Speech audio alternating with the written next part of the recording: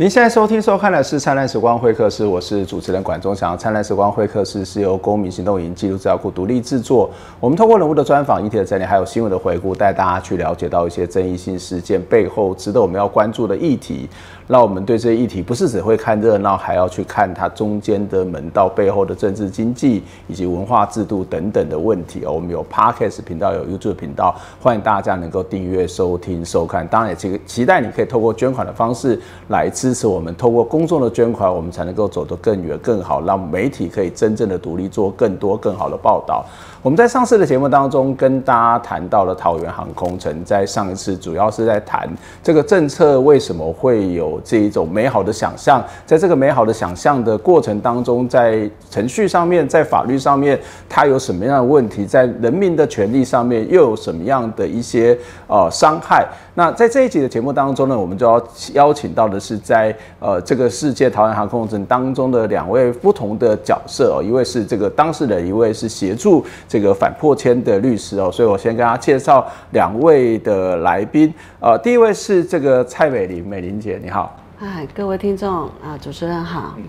美玲姐是这个桃园航空城反破千联盟的成员哦。那事实上，她也在这个过程当中也参与了一些诉讼哦。当然，她也是这个被破千户的这样的一个角色。另外一位是熊依林熊律师，熊律师好。哎，主持人跟各位听众大家好。嗯，熊律师是这个桃园航空城案的律师团的成员哦。那前一阵子也看到熊律师参与的这有关土地这个征收诉讼的这这个案子哦。那我想在这个案子当中，事实上它涉及到的人非常的多，它涉及到的这个征收的范围也非常非常的大哦。那我我想先请教一下美玲姐哦，就是当时你是在什么样的情况之下知道航空城这个案子哦？那你当下知道这个案子的时候，呃，你有什么样的一些？呃，反应吗？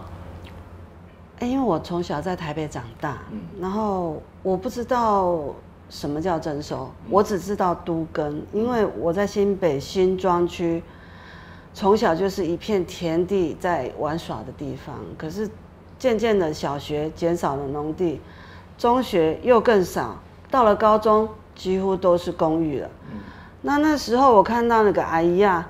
她的田是我们在玩耍的地方，他那时候在收资源回收跟种菜卖菜，可是到我国中的时候，他是配了一间偷天处没错，可是他没有菜种，没有菜卖，他依然在捡着资源回收，到现在我看到他还是依然过这样的生活，可是我在我心里就有一个底，就是啊，都根怎么会是这样？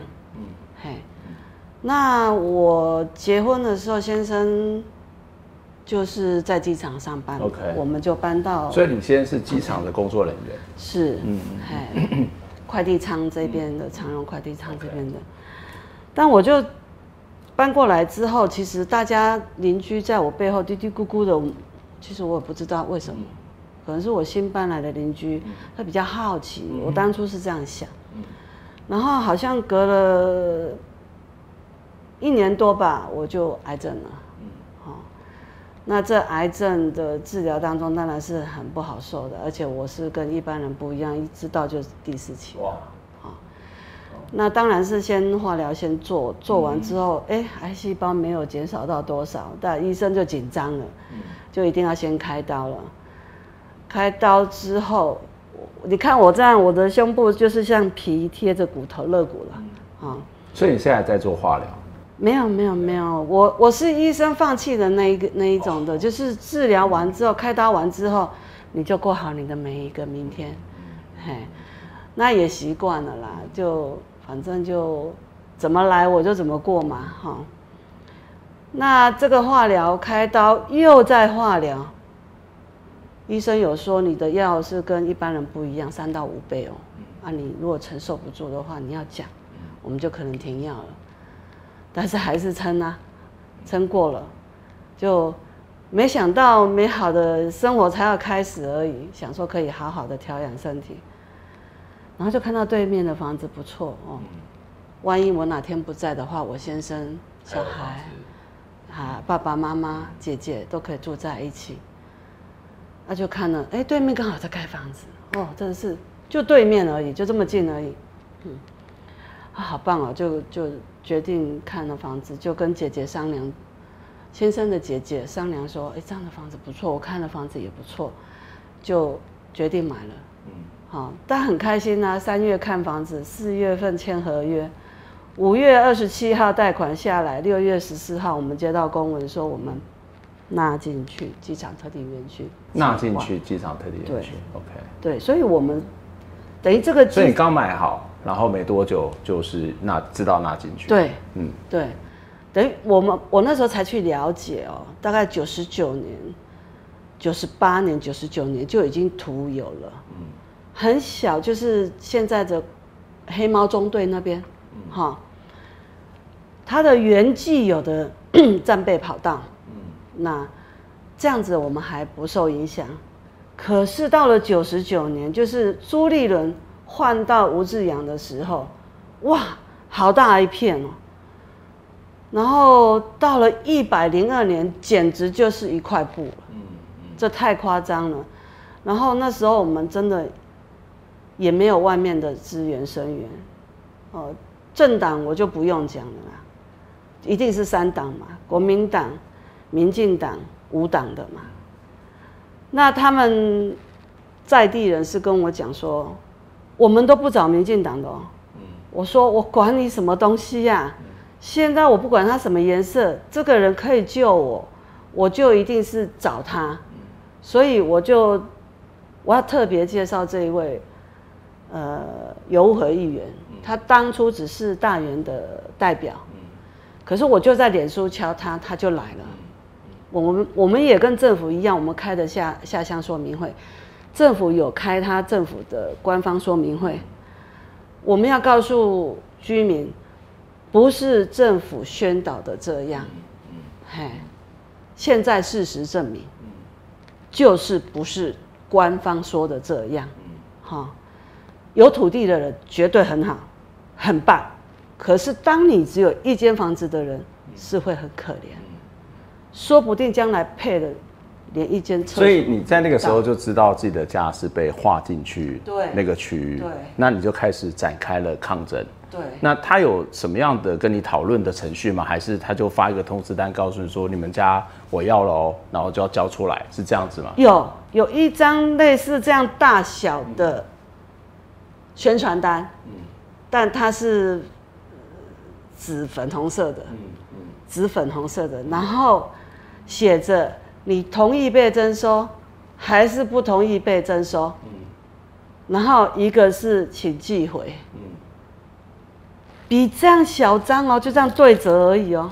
就像是用寄是寄挂号还是？不是丢你信箱哦，OK。嘿，那我记得那时候我有看到邻居的阿伯很生气，航空城搞了十几年，现在又来搞，哈，他们就很生气，就有的当场就撕掉，对。那后面我就进行到内政部营建署开会，也是借由徐老师跟本权老师，好，徐教授跟本权老师，哎，对对，本权老师很激动，因为我们航空城可能有就是台湾有史以来最大的征收案，但刚开始我们不知道会议的时候，都是徐老师跟本权老师去开会，那那时候借由裴慧老师。跟田奇峰主任，嗯，哈，他先进来，进来跟我们讲说，因为他们有老师一些受教权的影响，还有学生的权益，所以他进来我们这边先看看有没有居民知道这件事情。其实那时候我们才刚组织一个叫桃园航空城反破迁，嗯，哎，不是桃园航空航空城自救会，嗯，好，刚开始是这样。结果没想到这里面的人是在地人，他们有一些人是要跟村长，嗯，就是有一点进来当北亚的啦，嗯，廖北亚的啦。那那时候我比较单纯一点，我就没想那么多，我就想说大家一起努力，哈。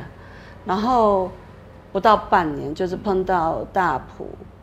征收案那个大事件，那个阿贵律师他们胜诉。嗯，我记得那天开记者会的时候，我还在外面，我还架着摄影机在拍。嗯，因为我是机动组，我都是跑外面。结果在这过程当中，我接到里面办公室的小姐给我的电话说：“美玲姐怎么办？”嗯，他们一些重要的干部已经去找村长协议架构了。所以当场我就眼泪就哭了，我就真的哭得很惨很惨，就有点被出卖的感觉。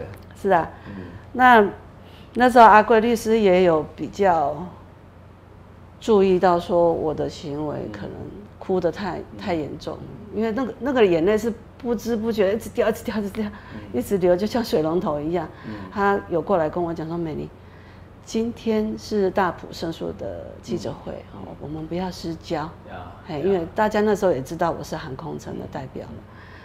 那我就跟他阿贵律师讲说，我知道，可是我不是因为这个事情在哭，我因为我内部有一点事情，所以我不自觉的一直掉眼泪。那他已经这样跟我说，我只好就是手帕就是半盖着啊，然后摄影机就架着照拍。嗯，我我我印象给我最深刻就是那一次这样子的打击啊。然后我们自救会的会议隔一个礼拜就开会了嘛，我就说长痛不如短痛，因为我们的目终究终点是不一样的。我想说，我们就此打住好了，你们走你们的，我们走我们的。我想走我自己想走的。他就说不行，我们就是要利用你。你不能走。我说可是你们是有条件被征收的，我不是。我的是，就是你不要来动我。为什么？因为我是来扎根的。我才刚进来，我九十七年才刚搬进来。你就要把我连根都拔起。所以在这过程当中，呃，你其实是有一些自己的坚持，但是有些人可能他自己的考虑，他就加入了这一个征收。但是你后来持续的抗争。不过我想要先请教一下熊律师，就是刚刚有谈到说，呃，当美玲姐她知道这一件事情的时候，就是那一张单子，那张单子就说征收跟同意征收跟不同意征收，这是一个正常合理的征收的程序吗？还是我们国家在征收土地的时候就惯常用这种方式呢？呃，跟主持人报告，其实刚才美玲姐所提到的一个，应该是说是呃，区地机关去针对可能要被征收范围内的被征收户，他去调查他的意愿。那基本上其实这是在实务上其实是有会做这件事情，但其实这个程序上有一个很大问题，就像美玲姐刚刚所讲的，他那个单子上面其实写的非常简单，他只问你呃要不要呃加入区段征收。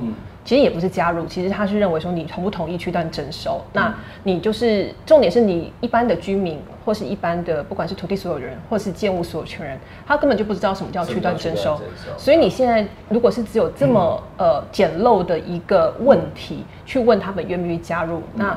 这个到底这个问卷这个调查出来的意愿，其实是有很很大的可疑性。它它本身只是一个调查意愿，但是不是一个真正的一个一个决定或不决定的一个这决策了，还是？呃，基本上他们其实也会把这样子的一个是否同意要呃加入区段征收这样子的一个调查，去作为他后续。呃，进入呃土地征收审议小组时，会去跟呃委员说明说，呃本件的一个区段征收的开发案有多少人，呃其实是同意征收，那包含是说有多少人在协议架构已经同意就是出售他的房子跟土地，其实他这个会是作为后续呃土地征收审议小组去参组的资料之一。但我们刚才就是跟主持人报告，就是我们会认为这样调查其实是非常简陋，而且在于。在于呃当地居民，就是这些被征收人，他们在完全不了解的一个情况之下做这样的调查，其实是没有任何意义，也没有任何的代表性。对，那他们可以反对我不同意征收吗？这个反对是有用的嘛？因为如果它是一个国家既定政策，而且又是用区段征收的方法，居民不想玩可以吗？就是在那个单子上面，就算表达我反对是有用的吗？呃。你在单子上表达反对，就是代表是你一个意见提出。但是因为其实呃征收它的一个流程，在呃提呃在需用土地机关它提报这个征收案到内政部的土地征收小组之前，它其实是有好几个呃程序要做。那基本上它一定要召开公听会，然后还有就是。呃协议架构的程序。那只是说依照我们本件来讲，它又涉及是一个新定都市计划的关系，所以它的公听会其实有可能是透过。呃，另一个在特定区都市计划所召开的公听会的部分来讲，就是合并进行。所以以我们本案来看，其实我们如果土地被划入征收范围之内，那我们要不要表达不愿意征收的意见？一定要。嗯，而且一定要每个程序都要参与。对，因为呃，从我们呃最近就是六月十二号所收到的一个机场园区的土地征收的案件，我们看到判决理由，其实里面就有提到，就是说他去他要去细致去审酌，呃，原告这边这些当事人在相关程序当中，你有没有表达意见？我们其中有一位呃，有一位呃，就是。被判决败诉的原告，其实就是被认为说，哦，你虽然在一开始在都市计划的一个在公展的期间，你有表达你不愿意呃加入征收，但是你在后面召开的相关的呃公听会的程序或是协议架构程序，你都没有参与，然后法院就认为说。呃，基本上他认为，因为你的土地在呃机场专用区，在自由贸易港区，在这个地方来讲，他认定有公益性跟必要性。那你在后续的这些程序上，你没有在公听会表达意见，你也没有在协议架构表达你不愿意征收的意见。他认为说，既然呃区立机关都已经践行所谓的这些给你参程序参与的一个权利，你没有参与，他会认为这样的程序已经。足以合法征收？不，不是听起来有点荒谬。他你你不是说他在问你意见，说你说不同意，他就永远不同意，而是你要每一个过程都要说不同意，然后每一个过程不同意，事实上是要有点像几点累积以后你要去诉说要吵架的这个成本，是这个意思吗？对，我觉得其实如果以目前我们看到最最近的这一个呃台北高等行政法院一百一十呃一百一十年呃判呃对不起一百一十年数字八六零号这个判决。我我我们可以观察到说，呃，现在法院在这个判决当中有呃透露出这样子的意思，嗯，所以如果你在相关的程序你没有去陈述意见，去具体表达说你不愿意征收，这个征收案不具有公益性跟必要性，根本就不需要征收你的土地。如果你没有做这样子相关的陈述意见的话，我觉得确实是会对于你后续的在行政救济上可能会有一些困境。对。对，不过这都是很后端的事情啊。对。嗯，因为你们家可能都被划进，甚至有可能已经被拆掉，都有可能发生。对，那像我们这件案件来讲，因为它在呃，它是先行区段征收，所以它其实后续的审议其实是土地征收跟呃那个都市计划审议其实是并行的状况。那呃。都市计划委员会，他们其实在第八三二次的会议有有做出一个剔除区段征收范围的一个处理原则，所以其实呃在当初如果你有符合所谓都委会所制定的一个剔除原则的情况之下，主要是是说如果你的土地是属于建筑用地，然后对于呃机关对你的土地没有特别的需求，然后也不会影响整体开发范围，然后在呃。呃，也不影响整体开发计划的情况之下，你的土地其实是可以被剔除。但这个这部分只有针对建筑用地，不包含农务用地。对，那在这个情况之下，如果你在这个程序当中，其实当初有提出的话，其实确实是有机会可以被剔除在区段分呃征收范围。但是我们这一件呃桃园航空城的土地征收，一个重点在于，其实它是征收非常大面积范围的农务用地，所以其实呃像我们在机场园区提起。呃，撤销诉讼的原告，其他们土地大部分都是在农牧用地，所以他们属于其实真的没有必要要征收，但是还是被划入征收，只是因为他土地是农牧用地的关系。对。我想接下来再请教一下美玲姐哦，就是在呃，刚刚律师有提到说会有一些听公听会，那我们知道在这次有办，应该是听证会在这个大礼堂。那我不知道在这过程当中，美玲姐是不是每次都有参加？然后你有没有接到通知，或者是除了这些大型的这种会议之外，有没有在跟住户有一些进一步的沟通的过程呢？哦，这个过程很长哎，哎，他有开了很多场的说明会，到里每一个里都有办说明。说明会就是说我被安娜者，然后开始讲我你在啊，但是你的意见我不会给人听，嗯，所以一个跑流程，嗯嗯，那有刚开始我会喊，嗯。我不要被征收。嗯，那我不知道那边的人文文化是这样哎，好可怕！你不要那么大声啊！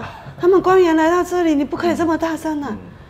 因为我们在台北嘛，我们就许就，哎，发表我的意见有什么不对？这是很正常的。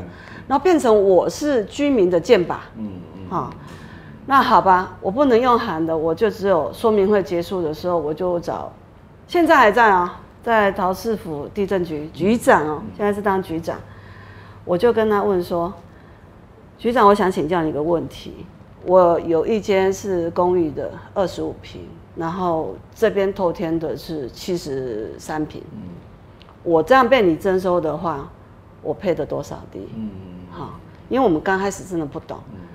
你哦，勉强哦，我就是给你三十平，但是你后面五平要跟我们政府买哦。然后我就问他说：“所以二十五平加七十三平，然后换三十平？”对。啊，你的存三分之一呢？对，而且还盖两楼半而已，不到三楼，你还要退缩，等于是三十平吗？不是，我配到三十平，我实际的建地退缩再进来，等于是。竹坪只有盖到十八平左右，哈，我说那这样怎么对？我还要再跟你买才够盖配到三十平的地才够盖十八平，我天哪！我说你有没有说错？嗯，你有没有算错？他说没有，就是这样。那我现在告诉你，我绝对不会让你征收。他以为我在说笑话，好，他说随便你啊。很不屑，我觉得交通部民航局那时候的公务处副处长也是这样的态度。我告诉你哦，你不被征收的话，你的子孙哦写万叹你几细粮。因为你你红红海发电呐，对吧？对，然后这里都是鸟不生蛋的。嗯你管我鸟不生蛋？这这其实是台湾在土地征收一个我觉得最恶质的地方，就是他会提供一些想象，然后啊，我们这个征收，我们土地开发是进步啊，你就是妨碍进步的人。可是我上班地点就在旁边呢，他回他怎么回我呢？谁叫你老公都要在机场上班？在台北的时候，在松山那个机场，那个那个也是五不到五分钟就一班，三分钟就一班的嘛。那我现在在这边也是机场上班。就是因为在机场上班时候，我才在这附近嘛。对呀，你你有没有点人性？我觉得啦，你们这些官员呐，坐在办公室里面，一点一线一笔一画，你知道那一点就有多少老百姓要牺牲吗？嗯嗯嗯你们体会得到吗？嗯所以你你觉得这些沟通，事实上，呃，感觉只是他在告诉你他要做什么，甚至你会觉得有点在耍官威，他没有在听你们的意见。所以这沟通，不管是听证也好，是公听也好，或是说明会也好，都没有什么实质的意义。哎，我们航空城这么大的征收案，是我们用老百姓的力量争取到听证公听会的呢。嗯嗯。而且他还是很不屑，他内政部办一次，嗯，他觉得不行。我们觉得不 OK，嗯，他也觉得你们为什么这么不听话不行，嗯，所以才又由，哎，我刚刚好像说错了，是交通部先办，然后后面才内政部觉得不行，我要第三方再来开一次，嗯。所以我想要请教一下律师，就是有听证会有公听会有说明，说明会就不要说了，反正就是一个不打的概念嘛。可是听证是有法律的效力，公公听会事实上也是要必须有一种民主的程序。那按照美丽姐的说法都没有用，那开这也要干嘛？呃，应该是说听证会它的一个用途，其实是在呃让不管是实地机关，然后或是说是在地居民，他可以去表达对于这一个呃区段征收这个开发案到底呃同意或是不同意，然后对于一个比较细节的法律上的议题，大家去可以去做呃意见上的攻防交换。那只是说，因为我们呃我国现在在听证制度上有一个问题，其实实际上像本件来讲，它一开始的。呃，第一次的听证会是交通部民航局他们所举办。那其实你是请一个他想要征收你土地的人来办理这样子一个听证程序。然后，那这个听证来讲，它的一个一个一个呃一个组成上来讲，其实可能就有一点疑义之外。那另外一个问题在于，是因为听证的结果，它其实是作为一个呃作为一个后续去审议，对，呃到底有没有符合听证结果办理的一个状况。那所以说，这个听证其实没有强制性。其实，如果你能就听证结果，如果你有做与跟这个听证结果不同的部分来讲，其实你要具体附具理由。所以实际上，呃，听证有没有用？听证是一个呃，在我们在制度上是希望让呃人民的知的权利可以受到保障，他的陈述意见的权利也必须能够得到保障的一个程序。但是它相对来讲也相相当的专业，它其实是会需要专业的法律人员来协助。所以在当初的听证程序来讲，其实也有不同的律师团来协助呃。被征收人来去做相关的意见陈述，对，两次听证会都有，嗯，对。所以，我我们刚刚看到的这个整个的过程，事实上也都有蛮多去疑虑的地方。但是不管如何，到目前为止都是在抗争，不管是诉讼的抗争，或者记者会的抗争，也都在进行。我们先休息一下，我们再看那现在的发展到底是怎么样？这些抗争、这些诉讼是有用吗？我们先休息一下。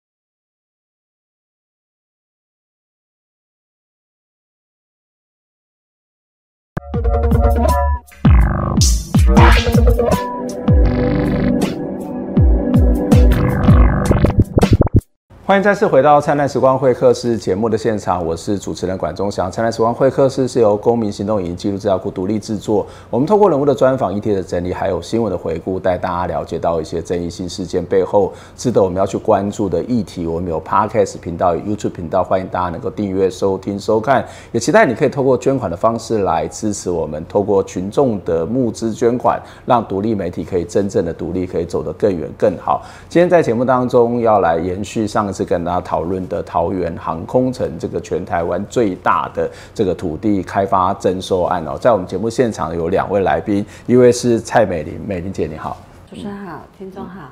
美玲姐是这个桃园航空城反破千自呃反破千联盟的成员哦。那另外一位是这个熊依林熊律师，熊律师好。主持人好，各位听众大家好。熊律师是桃园航空城呃这个桃园航空城案的律师团的成员。我们刚在上段节目当中也提到了这个征收的程序，它也涉及到的一个法律的问题，或是某种知的权利，或是某种公民参与的程序。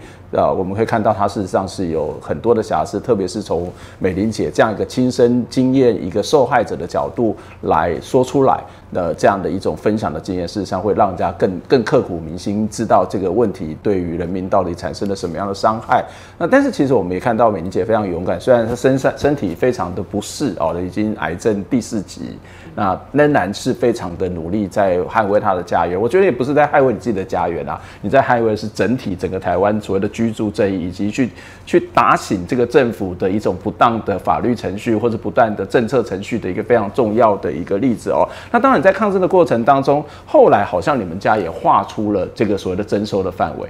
那所以现在是都没有事了吗？还是其实还有任何一一些这个呃这个随时可能又会被划进去的危险呢？嗯，因为我在前天又收到交通部民航局，那又收到，嗯，跟地震局啊，还有桃园市政府，嗯，他们的文来。针对于我们海口里四个聚落剔除区，要再开，再次纳入说明会，嗯，再次纳入征收说明会，所以还有可能要再征收。对，哦，所以他征收土地还不够用。我是不知道他到底够不够用。以前以前是远雄在跟我们争我们的家，现在是长荣。哦，现在长荣已经盖到我家。隔壁了哦哦，对哦，除了我们现在这四个聚落留下来以外，其他的区都已经是长荣了。嗯嗯，对，嗯，他的关税大楼也盖在我们家隔壁了。嗯，他限制我们的家不可以盖那么高，可是我发觉我我发现到长荣的关税大楼盖的比我家还高。好，我不知道这是什么样的条例。嗯，然后呢？我有一拍一段影片，我把这段影片发给花次长，嗯，花敬全花次长，嗯，我说我们看哦，这边是二十楼的景观大楼，隔一条水沟，这边是光明社区跟我们家这样连着，嗯，都是只有三楼到四楼的透天厝，嗯，我们这边有非安疑虑，嗯，它二十楼哦，嗯，景观大楼哦。将来是要做商务大楼、旅馆用的哦，它没有非安疑问。嗯哎，有杂志去拍到一个很讽刺的画面，就是二十楼跟我们透天错跟飞机在上面，到底是谁才有影响到非安问题？哈，其实我在这段抗争的阶段，很多媒体记者来采访，我们的家根本，我们家都七楼了，光明社区那边只有三楼、四楼而已。怎么样的非安疑虑？嗯，我不知道。嗯，但是我们在一百零七年地震师内政部地震师的最后一次会议呢，有委员提出这样的疑问：为什么还是有人留住？哈，他这边不是六十分贝以上不适宜居住人民吗？那为什么他是留下来的？我刚刚讲的那个以前呢？他是交通部公务处的副处长潘成火，他亲自回答，因为蔡美玲她一开始就开始抗争，到现在还在抗争，所以我们查了一下，他不在我们非安经纬度里面，这样的意思是不是就是没有影响到维安嘛？好，他就回答了那个委员，那委员说。既然它不在非航线的经纬度里面，那为什么这么大区块都划进去征收呢？好，那那个潘副处长呢就回答说：啊，因为很多人要征收啊。嗯是这样说的吗？是应该你有公益性、必要性、需要性才要征收吧？嗯，对。对，那还有你用这个这种很。非非常的不人道的方式来征收啦。我我敢说真的，政府机关你在做什么？嗯嗯，我到现在抗争这么多年来，一直收到的都是剔剔除公文，我每一年都有存着。嗯，你为什么还要再一直开说明会，一直再次纳入征收？我不懂。嗯，很多人说他要纳入征收没有错，但是有公益性、有需要性、有必要性吗？嗯。而且我们的区块委员已经讲过了，我们是不适合谈比例原则的。嗯嗯嗯，因为我们是公寓式。呀呀，我我想要请教律师，为什么不这个案子不是应该就已经先画好，然后该处理就处理掉？为什么还会突然间又说又画进去？不是被剔除又会发生？这是法律上面这个程序是是是合宜的吗？嗯，对，这边跟主持人报告，就是呃，刚才美玲姐所讲到的状况，其实在跟我们在处理呃其他当事人的的的状况，其实很相信似。那其实有一些像是我们有些原告，他是在自强社区或是渔港路两侧的一个聚落的居民，那他们也是因为当初本来也不在区段征收范围，对，然后但是后来是因为有当地的这些住户。有部分同意想要被纳入征收人去澄清，所以后来在我们在剧场园区的土地征收案当中，就有就因为有有当地人主张要被征收纳入征收，他们的土地就被纳入征收。那这个地方来讲，其实呃法院的判决其实有很明确的说明说你。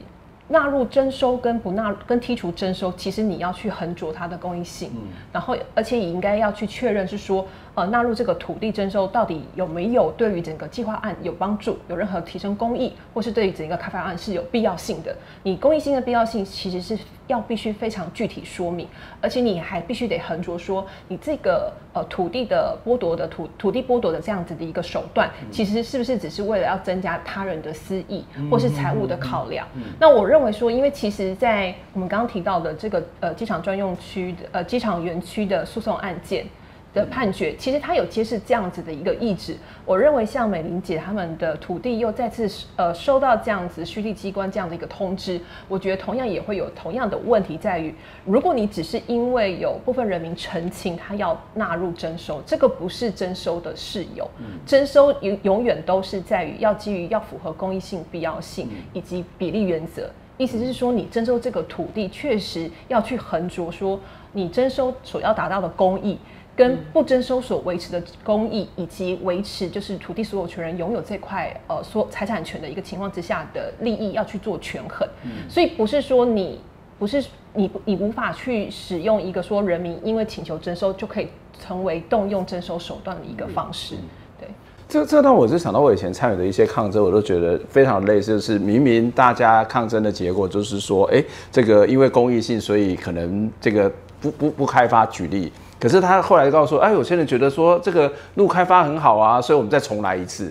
我想说这是不是在搞笑，是不是在恶心？就是到底政府有没有一些一些既定的一些这种公益的考量，或是必要的考量？那怎么会是谁说我要翻案就翻案呢？这个这个不是对政府打脸吗？他对他的威信，对他的公共政策的实施，也是一种伤害，不是吗？对，所以我们会认为说，其实。呃，这样反反复复的一个情况之下，我觉得其实政府本来你要动用征收这个手段，我们刚刚讲了，本来就是要符合呃公益性、必要性跟符合比例原则，而且法院也认为说你是要具体说明，你有这个说理义务，是说你征收这块土地有这样子的一个必要。嗯，所以呃，我们认为说，其实像刚才呃美玲姐像碰到的状况，或是主持人所讲到这个状况。事实上，当然，他们要要不要再发动征收这个手段？当然，他们想要提起也是，也不是在法律上也没有说不行。对，也是他这个权益的。对，呃，应该是说，他如果依照他们认为的一个公益考量而要再征收，当然是可以发动，但是你还是要能够。呃，去通过公益呃征收的公益性、必要性跟符合比例原则，这个有一个程序吗？就是要重新发动、要翻、要重来，它有一个必须行政机关有一个程序或者怎么样？坦白讲，它其实就是在重新走征收征收程序。对，就是同样，就是你要召开公听会，然后你要召开协议架构，因为你要动用征收之前，其实是。你要先确认你有没有用用尽所有一切的方法取得这块土地。如果真的不行，当然才能动用所谓的征收手段去取得土地。但是这个部分来讲，还是要经过内政部的土地征收审议小组去实质审酌区地机关所提出来的这个征收的案件有没有符合公益性、必要性跟妥适合理这件事情。所以，我我想，呃，当然，如果机关任意提起这件事情，那我觉得人民，我觉得人民很可怜。人民其实是完全没有办法去拒绝拒绝呃国家这样子的一个手段，但是我们能做的事情就是，我们还是有司法救济的一个管道，作为我们人民权益的最后一个防线。要要不然就是今天这个财团说我要，那个财团说我要，这个有他的公益是有他的，那那大家都搞得天翻地覆，那永远没有料。可是你刚刚也谈到一个，就是我们还有自己的救济的手段。这个案子本身在法律程序上，它到底有多少的问题？为什么这个诉讼的案件这么的多啊？对，呃，应该讲说这个桃园航空城，它其实本来其实它最最需要要做的部分，其实是应该是第三跑道跟它的附属设施。那就这个部分来讲，其实如果就这个范围的机场专用区的部分的呃呃公共事公用事业的部分来讲，其实你只要征收，而且是用一般征收方式处理就可以。可是后来他们就透过这样子的一个第三跑道跟附属设施要要新建这样子一个目的，就。大幅拓展它要去呃区段征收的范围，那因为其实它这个区段征收，它这个制度有一个重要的特质是，它其实会有财务上考量，嗯，所以就会变得是说，它需要透过去扩张征收非常大笔的土地，来作为后续抵价地，然后抵价地去呃去作为像是。呃，补偿金另外一种替代方式的补偿给被征收人，然后部分是作为公共设施用地，那另外是他们可以作为自己标售的土地。所以其实现在征收制度本来本来就是一个非常呃非常粗暴的一个程序，而且在这个程序一开启之后，呃，我们很遗憾的发现到说，其实对于这个公益性跟必要性的审查，其实是非常。简陋，嗯，非常非常粗糙。那因为这样子的一个开发案，它又是采行所谓的先行区段征收，意思是说，它其实已经先决定好它的开发手段，就是我要用区段征征收方式的手段先做，然后。之后再透过新定都市计划的方式来讲，有点像是都市计划去反而是满足区段征收这个手段，可能包括后面的环评也都是去满足前面吧。对环评的部分来讲，它因为又依照它其实环评的范围也只有针对第三跑道跟附属设施，它不是整体全部的呃那个区段征收范围都做环评，所以一个一个开发案件，我们就可以看到说，如果政府想要做一个他们所谓的一个重大。重大公共建设案件，然后他他想要发动所谓一个桃园航空城，要促进地方繁荣，他只要讲出这样子一个很空泛的一个。梦想，空具想象力的一个想法，对，然后做出来之后，他接下来决定的手段之后，他其实像是都市计划，反而我们会认为就是成为他一个服务这样子区段征收目的的一个相关规划，对，所以其实是，所以我们这个案件其实它会涉及到环评，我们刚刚讲到环境影响评估，它其实是只有针对第三跑道的范围，然后接下来它其实也会涉及是都市计划，对，那你就这个桃园航空城这个特定区域的计划当中，你你的规划。的部分的问题之外，还有最后就是要取得你的土地这一个土呃区认征收这样子一个问题，它所以它会形成三大块的法律上的争议。但是这个诉讼的救济程序是有用吗？会不会又像刚刚美玲姐提到的例子啊？我已经这个我已经撤离，已经划出，但是后来又有人提出来，我又被纳进去，会不会在没完没了？呃，应该是说这个不同的环评程序、都市计划程序跟土地征收的程序，它其实是不同的行政程序，处理的关注的问题，法规上面所关注的问题，其实也是不太一样。那刚刚主持人所提到的部分，它其实它其实是会落在是呃呃区段征收，就是土地征收这一块的部分。那我们刚刚就有提到说，不管是要呃纳再纳入区段征收。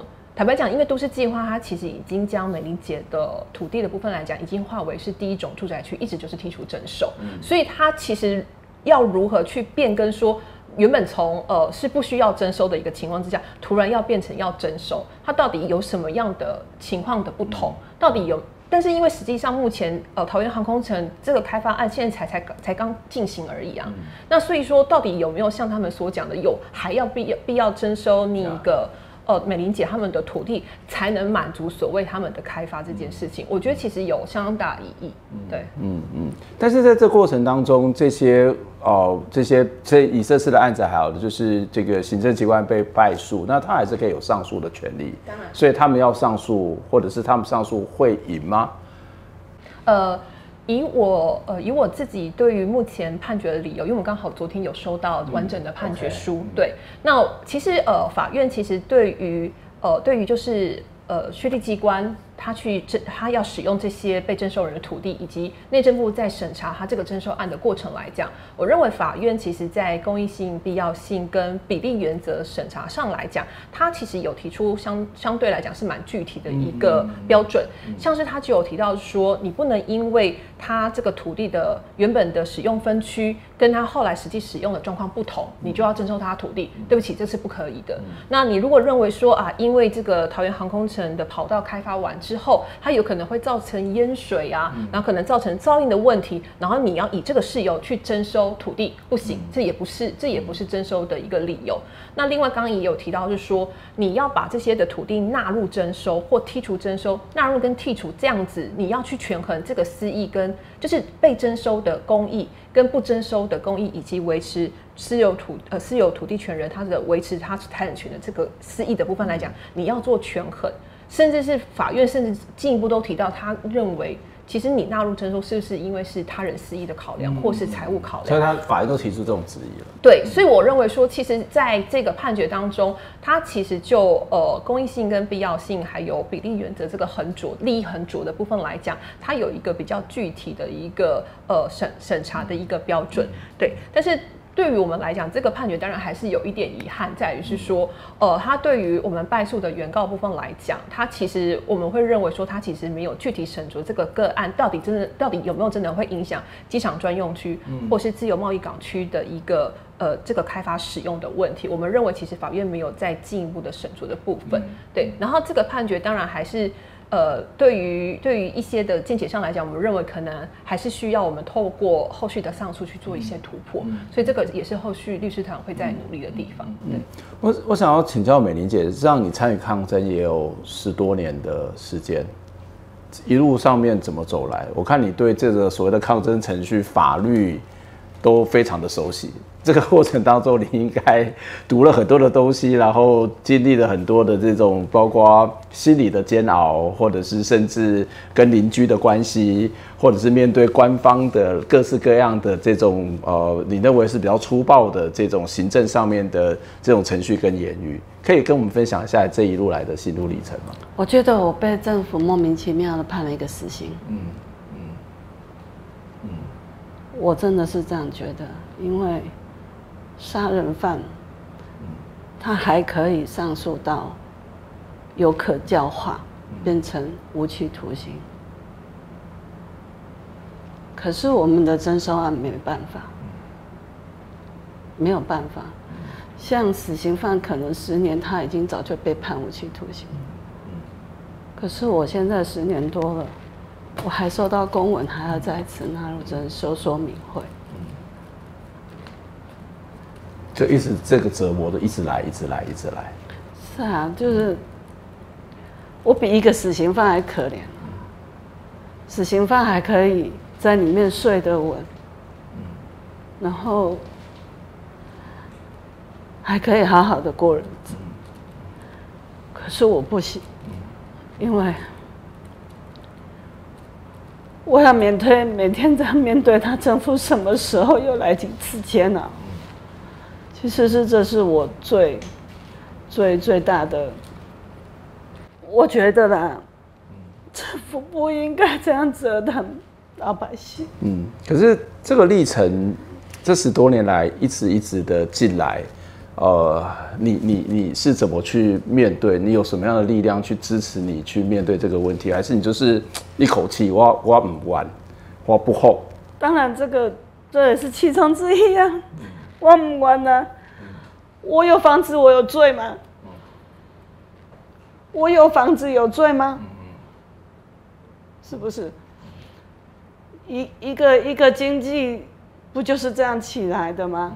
你政府要有经济，也是老百姓安居乐业才有办法吗？那你这样一再一再一度一度的折磨我们，你到底要把我们折磨到什么时候？我剔除公文已经从一百零六年收到现在，他现在又来一个再再次纳入征收。刚刚律师不是有讲，你不能因为有人要纳入征收，这这就叫做理由事由来列入公益性跟必要性嘛？不是嘛？对，对不对？你这么多的文给我是给假的吗？内政部、行政院。我想请问一下，交通部、民航局，你们这五大部啊，你们就这样无缘无故这样对老百姓施出、使出你们强盗的手段吗？你们政府不就是带头抢劫老百姓吗？不是吗？我现在举这个例子，不是最血淋淋的吗？我人还在这里，我还没死，我挨骂，我虽然挨骂，但是我还是一直在撑，一直在撑啊！我不甘愿啊，我真的不甘愿，我对政府有很多很多的不甘愿。你们谁来告诉我？谁可以告诉我，我该要怎么做了？十年多还不够吗？而且我是每年跟你们追公文，我不是就放着哎。我常常会议、营建署、内政部、营建署，你们的会议我常常都有参加。哎，那时候多可怜呐，一个礼拜开五天，而且不能进去。你们在省我的家，省我的钱，我不能进去开会，这是什么道理？而且还是代表进去，可是官员却都一个一个坐在里面的，要你的家，要你的地，我该怎么办？请你们告诉我，我在这里呼吁所有的律师、法官们，请你们协助一个大事治法。区段征收这个恶法是很要人命的，你们知道吗？我希望律师们、法官们，你们来协助这徐老师很辛苦，很辛苦，希望你们来协助我们把这个区段征收法给废除掉。不然我死都不甘愿，我死都不甘愿。我讲真的，交通部，尤其是交通部，你现在看所有营建署的资料，全部都是交通部在征收。自从他们开始有，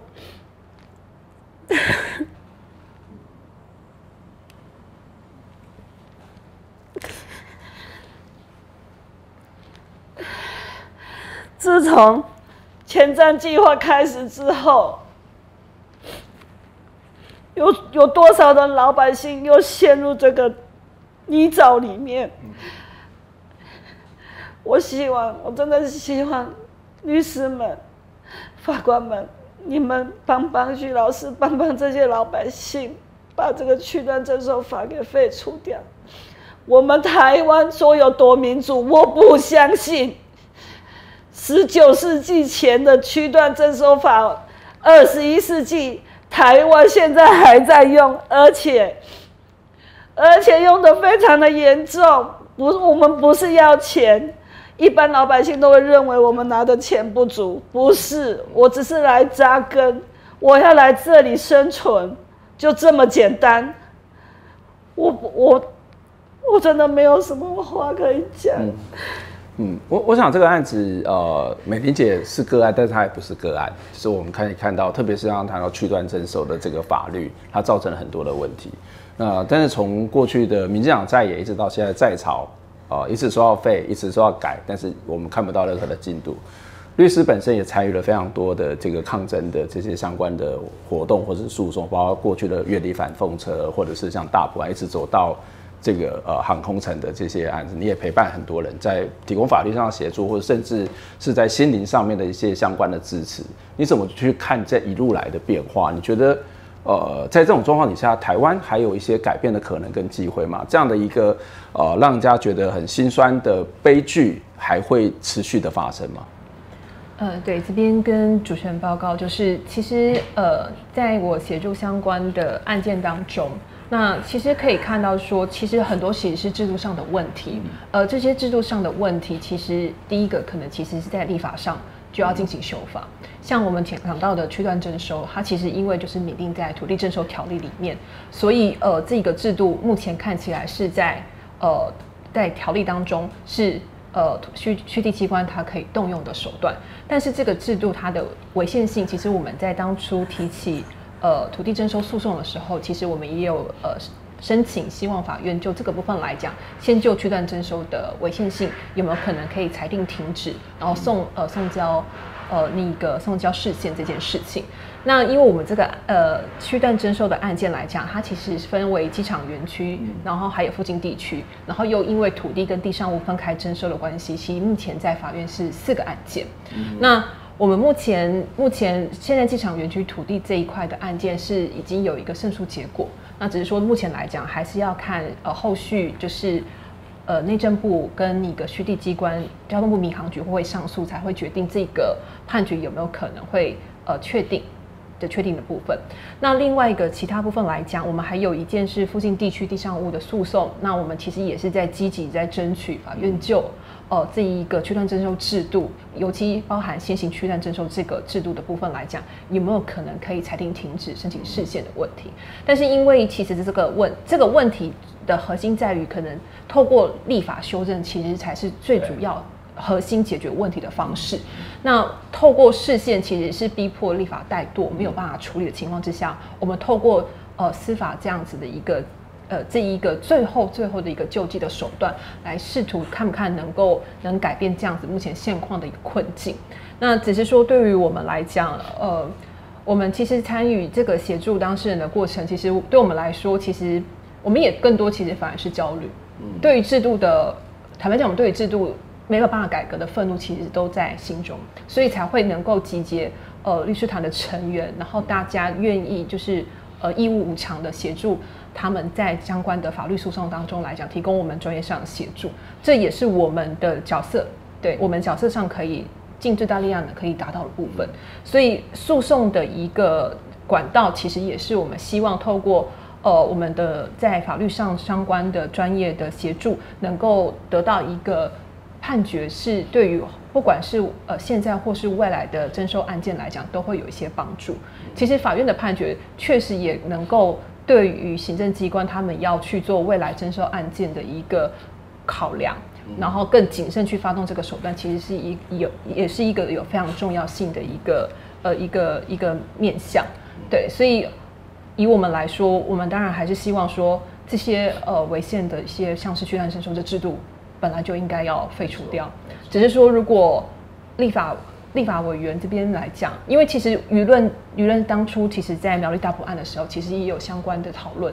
那只是说当初修法的时候，废除居然征收制度这个部分来讲，其实是遭到相当多的反对。因为我们可以理解说，像是相关的地震单位认为这个工具好用，嗯，然后相关的政府也觉得很好用啊。对对，都他们都觉得很好用。然后可能对于一些呃需要土地的财团来讲，这个方法也是一个很便宜可以取得。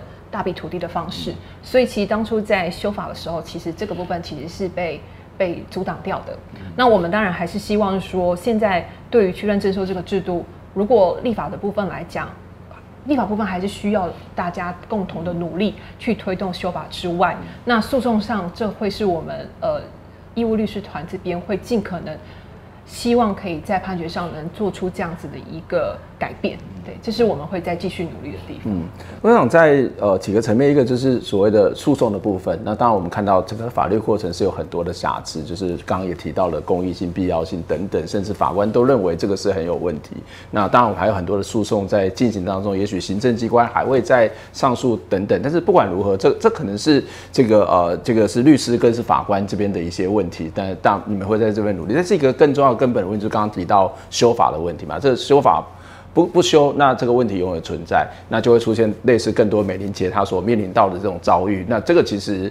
何其无辜，这跟他们根本没有关系。但是因为这个制度上面出了很多问题，把这些灾难啊，把这些痛苦放在人民的身上，这这个改变绝对不会是一个纯粹律师、法律或当事人，而是整个社会要共同的努力。所以，我们透过这两集的节目，也让大家知道，它不是一个好像是一个可怜的个案，或是一个冲突的个案，或是一个抗争的个案，它背后有非常非常糟糕、严重的法律跟政策的问题。今天非常谢谢两位，我们下次再会，拜拜。